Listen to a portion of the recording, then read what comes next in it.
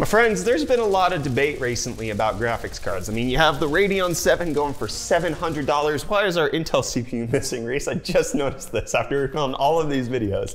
Anyways, then you put it against the 2080 Ti for $1,200. And I mean, 2080 Ti is better, but is it really worth that $500 difference? Well, if you take a look at some of the latest benchmarks, the answer is no. And the Radeon 7, as well as the Vegas GPUs that came out, thank you, Reese, the Vega GPUs that came out before that are actually worth a heck of a lot more than you would expect because World War Z is a new zombie game that came out. Not sure how many people are playing it, especially since Days Gone is a new Sony exclusive that's coming out, which is supposed to be hotly anticipated. I saw that World War Z was like the top of the charts on Twitch, like the first day but that's probably because all the major streamers got paid.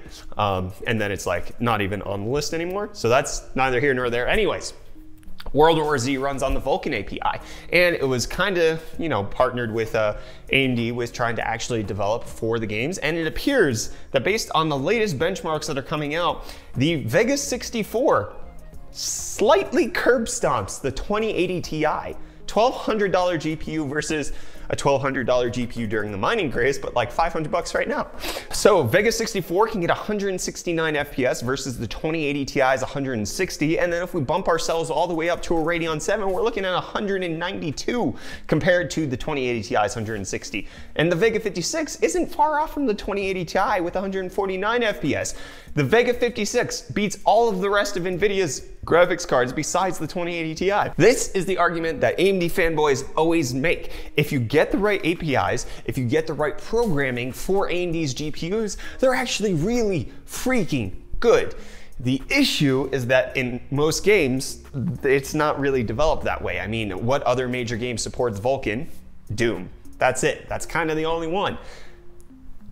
Day, World War Z maybe could be something that's huge in the future. Not necessarily sure, but it does show that AMD has been kind of working on their GPUs to be more future proof. And if the Vulkan API has any future implementation in a lot of good games, we could see more performance like this where a $700 AMD GPU is beating out the NVIDIA $1,200 GPU.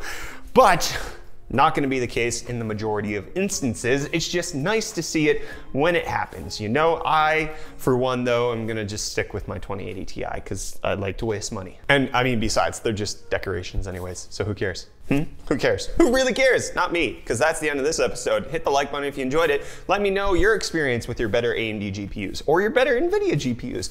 Wage the war in the comments. Fisticuffs with your fingers on the keyboard down below. Hit the like button. I'm Brett, Hot News Channel. Subscribe if you wanna.